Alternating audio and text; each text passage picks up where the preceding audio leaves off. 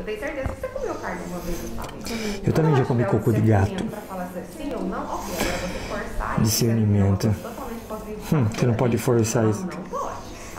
Gente, eu não, vou, eu não vou nem me aprofundar muito, porque eu sei que vários canais já fizeram vídeo a respeito desse, mas nem, nem sei como te falar. Mas só essa partezinha aqui que eu quero pegar, porque eu também sou pai esse ano, e aqui nós vamos sim introduzir eh, ela numa alimentação totalmente de base vegetal. Ah, mas você não pode forçar a criança a fazer isso. Nós forçamos as crianças sempre. A gente força as crianças a não jogarem videogame até tarde. A gente força as crianças a dormirem quando precisa dormir. Se a gente simplesmente deixar, não, vamos deixar ela ainda, não vamos forçar. A criança ia viver de biscoito, Coca-Cola e batata frita pro resto da vida. Ou seja, os pais sempre estão forçando seus filhos a fazerem aquilo que eles acreditam ser melhor. E quando esta forçada tem suporte tanto médico quanto nutricional, os pais estão escolhendo o que é de melhor para o seu filho,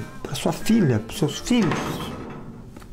E ainda esse profissional puxa o papo de que é Totalmente contraindicado. Mentira! Gente, isso é uma falácia gigantesca. O que eu não entendo é que, como em pleno 2021, a gente ainda tem que bater na tecla que, olha, a alimentação de base vegetal, ela é possível e praticável para qualquer pessoa, para qualquer idade, quanto gestante, quanto criança, quanto idoso, não importa, é saudável Ele tem toda a razão. toda a minha solidariedade a esses pais, é, porque, poxa, que pé no saco que foi, né? Escutar ainda que é um crime. Crime. Crime é você levar o teu filho aí no McDonald's, comer Big Mac com Coca-Cola. Agora, dar frutas e vegetais é crime. Ah, papo.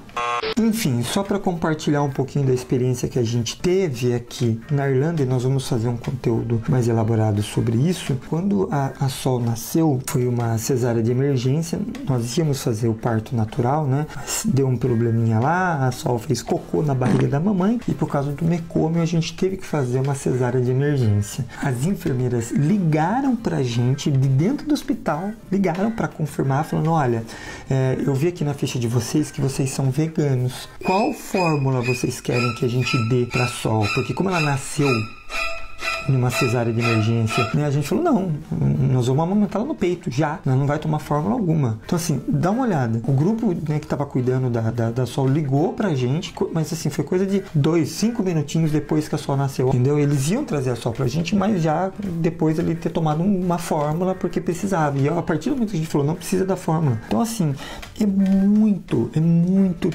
é triste, revoltante que em pleno 2021 a gente ainda tem que bater nesse tipo de tecla. Eu fiz uma live com o Jorge Guimarães, um nutricionista fantástico, que fala sobre isso. Então, papai e mamãe, não tenham medo, não tenham medo de não. Olha, fala, não, desculpa, você está errado. É saudável. E você, profissional da saúde, por favor, sabe, se atualize. Ah, precisa dar proteína animal. Não precisa dar proteína animal. E além de tudo, olha, enfim, como eu falei, tem vários canais que já falaram mais sobre isso. Eu só queria pedir um pouquinho dessa experiência que a gente passou aqui. Nós vamos fazer, estamos produzindo um conteúdo mais elaborado, mais, mais profundo, mais legal sobre essa questão de pais veganos e a criança, como a gente vai fazer essa, essa introdução alimentar, porque ela ainda está com sete semanas e é por isso que o canal tá com poucos vídeos, né? Eu tô com poucas postagens e por isso que tá escuro. Eu tô com essa cara amassada porque são exatamente 5 horas da manhã. Um beijo no coração de vocês e eu vejo você semana que vem, eu acho.